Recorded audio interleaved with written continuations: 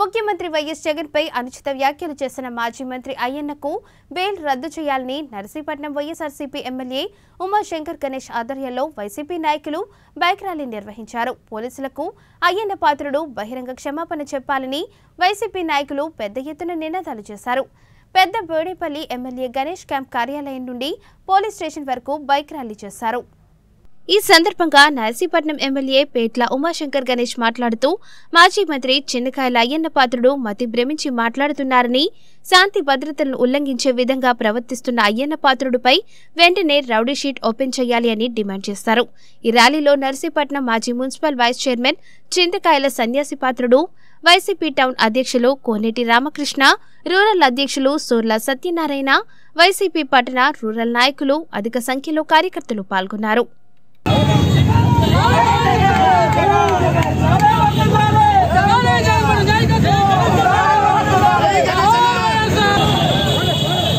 పోలీసులు కించబడుతున్నాయన్న పాత్ర తక్షణమే క్షమ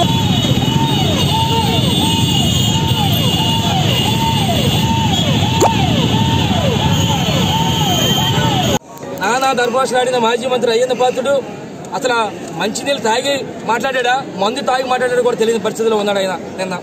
అందుకే శాంతి భద్రతలు భంగం కలిగించేలా ప్రవర్తిస్తున్న అయ్యన్న పాత్రుడిపై రౌడీ షీట్ వెంటనే ఓపెన్ చేయాలని అలాగే గౌరవ ముఖ్యమంత్రి గారిని కించపరిచేలా మాట్లాడమే కాకుండా పోలీసులను కించపరిచేలా మాట్లాడిన అయ్యన్న పాత్రుడిపై కేసు నమోదు చేయాలని చెప్పి ఈ రోజు పార్టీ పెద్దలందరూ కూడా పార్టీ పెద్దలందరూ కూడా వారిపై కంప్లైంట్ ఇవ్వడం రావడం జరిగింది.